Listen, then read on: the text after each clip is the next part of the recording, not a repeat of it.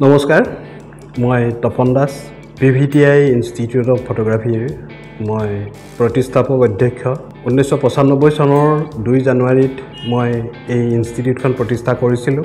এই ঊনত্ৰিছটা বছৰত আমি নানা ঘাট প্ৰতিঘাত পাৰ হৈ আহি আজিৰ এই অৱস্থাটো আমি পাইছোঁ। প্ৰথম অৱস্থাত এইখন ফটোগ্ৰাফীৰ শিক্ষানুষ্ঠানেই আছিল।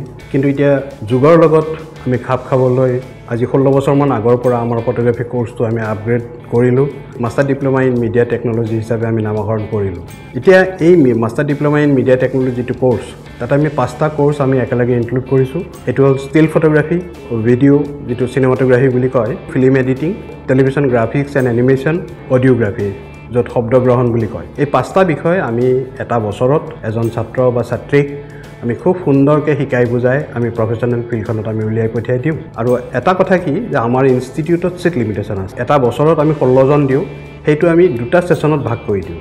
এটা হ'ল এপ্ৰিল আৰু আনটো হ'ল আগষ্ট এই এটা বছৰত আমি এই গোটেইকেইটা যি পাঁচটা ছাবজেক্ট ক'লোঁ সেইখিনি আমি সুন্দৰকৈ শিকাই বুজাই আমি প্ৰফেচনেল ফিল্ডখনত আমি তেওঁলোকক উলিয়াই দিওঁ।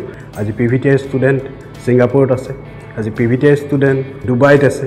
আজি পি ভি টি ষ্টুডেণ্ট বেংগালুৰুত আছে। ভাৰতবৰ্ষৰ বিভিন্ন ঠাইত তেওঁলোকে এংগেজমেণ্ট হৈছে। আমাৰ লোকেল যিবিলাক চেনেল আছে তেওঁলোক আমাৰ পি ভি টি আই যথেষ্ট ষ্টুডেণ্টে কাম কৰি আছে।